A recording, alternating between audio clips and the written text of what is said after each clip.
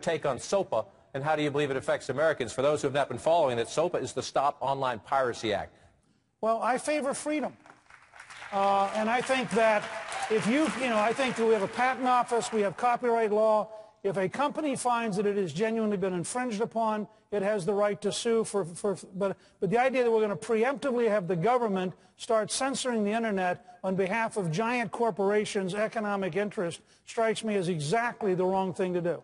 The truth of the matter is that, that, uh, that, that the, the law as written is far too intrusive, far too expansive, far too threatening to freedom of, of speech and movement of, of, information across the internet. It would have a potentially depressing impact on one of the fastest growing industries in America, which, which is the internet and all those, those uh, industries connected to it.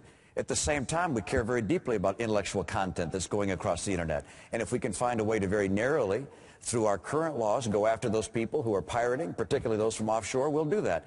But a very broad law which gives the government the power to start stepping into the internet and saying who can pass what to whom, I think that's a mistake. And so I'd say, no, I'm standing for freedom. I am pleased that the attitude is sort of mellowed up here because the Republicans, unfortunately, have been on the wrong side of this issue. And this is a good example on why it's good to have somebody that can look at civil liberties and work with coalitions and bring people together. Freedom and the Constitution bring factions together. I think this is a good example. I don't support this law, and I agree with everybody up here that it goes too far, but I will not agree with everybody up there that there isn't something that, that can and should be done to protect the intellectual property rights of people.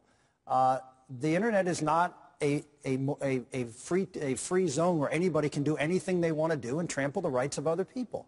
I agree this goes too far. But the idea that, you know, anything goes on the internet, where did that come from? We're, we're in America to say that anything goes. We have laws and we respect the law and the rule of law is an important thing and property rights should be respected.